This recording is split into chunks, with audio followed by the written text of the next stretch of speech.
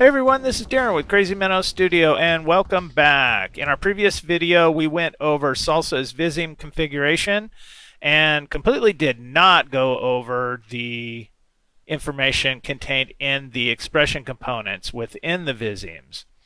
So just to recap, Salsa Viseme configuration requires at least one Viseme to be configured. And each Viseme requires at least one expression component. And in our demonstration in the previous video, we showed how to set up blend shape components, which is what this one is. And then we also demonstrated setting up a bone component. And that's basically operating on this cube that's sitting here under Boxhead's chin. So let's go over these real quick and uh, the first thing we see under the uh, the component is the name, and this is completely for organizational purposes.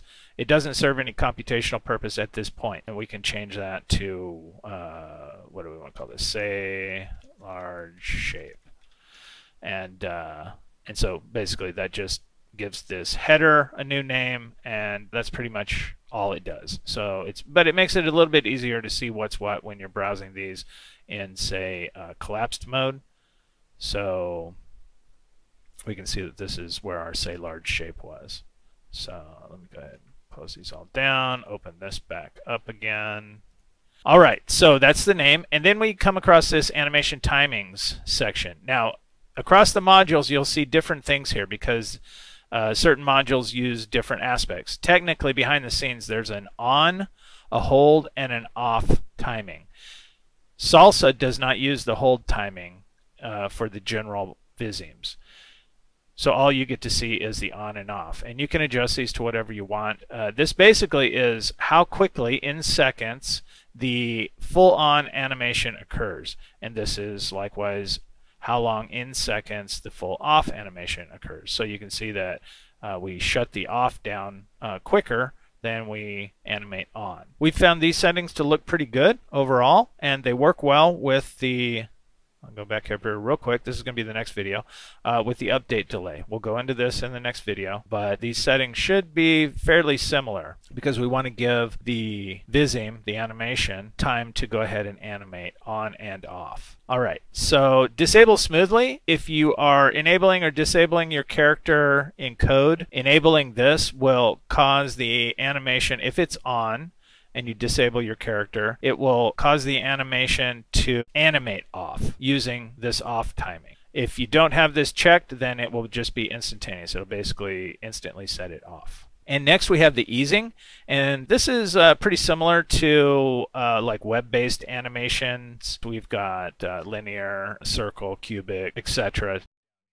We have tested this out. Cubic out is a quick out and then a slow finish. So it uh, it basically will start animating really quickly and then it'll smoothly slow down to the finish point. We found that to look pretty good and it's also friendly to processor cycles. The next is the controller type and uh, we have several controller types available for 3D purposes, pretty much shape and bone, although you technically could use some of these others as 2D animations on a 3D object, but sprite, texture, material, these are typically 2D based animations. Of course, UMA, if you are using UMA, still requires the one-click package, but this creates a proxy for the UMA interface and uh, and that is 3D as well. So this one's set to shape. Once, if you change these, like if I set this to bone, then it's going to require a bone transform. Let me go ahead and just drop this in here. And then once I do that, then it, uh, it gives me the rest of the settings. And the same thing for the shape. The difference is when we select shape, it looks for a skin mesh renderer on the object that Salsa is on. If it finds one, it goes ahead and adds it to the skin mesh renderer slot here. And then it grabs the first blend shape index. Since I already had this set up, it's grabbing this one here. So when we select shape, we need a skin mesh renderer, and that skin mesh renderer needs to have blend shapes on it. If it doesn't have any, you'll get an error down here. Next, we have the min and max, and I do believe I went over this in the previous video, but basically this is the off position of the animation. So once this timing reaches uh, its its point, uh, so we assume it's on. Once it goes back off, it will animate back off to this position, and it will animate on to the max position. And we can see what these are going to look like by hitting preview. And this is large. So now the preview only looks at this max position. It doesn't look at what the min position is. And uh, we can adjust that and see what it's going to look like. All right, so that is a shape controller, and uh, it's pretty simple. There's not a whole lot of settings involved there. We will see that in the bone controller. And we did go over this, bone settings and whatnot. We did go over that in the previous video, but the rest of this is all the same. So the animation timings are the same, easing is the same, uh, the controller type, we've selected bone. Uh, so we went through all of this. The transform computation constraints, we quickly went over this, but basically what this will do is it will filter out what elements of the transform you want Salsa to control. So if we want it to control the position, then we would have that enabled. Typically, it's going to be a rotation for bone rotation, like I did with this cube. And then there's scale. And scale and position probably won't be used nearly as often as rotation. So if we look at the other controller types, I'll only go through sprite because uh, UGUI sprite, texture, material are all the same. If I switch to sprite, it wants a sprite renderer. Let me go ahead and add one. Okay, so I've got a sprite renderer on here. Uh, I can go ahead and drag that in.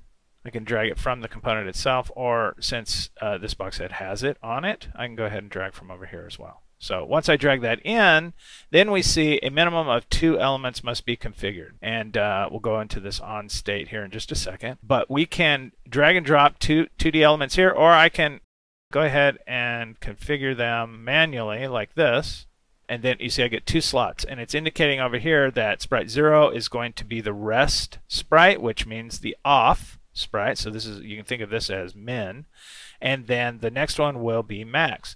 Now the interesting thing about this is we can have as many frames here as we want and this animation will play to the full on and then it'll animate back to the off. Now this null rest what this does is if you enable this then the rest sprite is null, meaning that once it goes back to off, it will take the sprite off of the sprite renderer. So there will be nothing there. So it may or may not be useful to what you're doing, but that flexibility is there.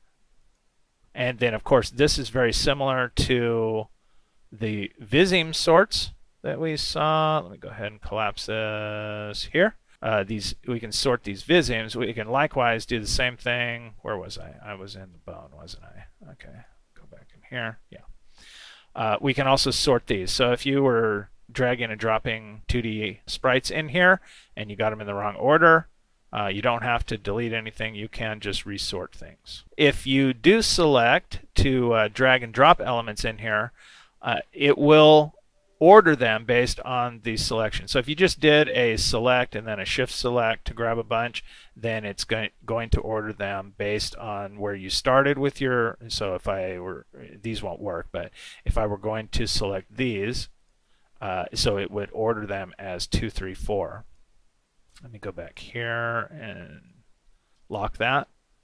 Then if I wanted to put them in a specific order, like if I wanted it to be 3, 2, 4, then I would select 3, and then 2, and then 4, and then I would drag these in here. It's not going to do it because these are not sprites, but that, that way you can select specific ordering and have them applied when you do the drag and drop. We could delete all here. We can remove this. We don't need it. And uh, basically, in a nutshell, that covers most of the expression components. And you see that uh, shapes and bones and, and then these 2D elements are pretty similar all the way from name to controller type. And then once you select each individual one, the specific controls you'll need for those will be underneath. So that's going to wrap it up for this video. And in the next video, as I promised earlier, we are going to start going over the settings. So thanks, and we'll see you in the next video.